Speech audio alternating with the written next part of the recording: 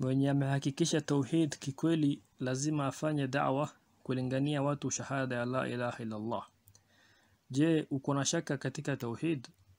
Aliyekuwa na shaka na tauhid je mkafiri amefanya kufr akbar. Kwa hivyo kwa nini hatufanyi da'wa kulingania tauhid? Ile kitu ambaye hauna shaka nayo kabisa lazima ufanyie da'wa lakini sio kutoa fatwa fatwa kazi yake ni maulama wakubwa. Kuelimisha watu tauhid kufanyia da'wa ya tauhid na kuonya watu na shirk hizi ni miongoni mwa wajibat ambazo ni muhimu sana. Kwa hivyo alihakikisha tauhid kikweli lazima afanyie da'wa tauhid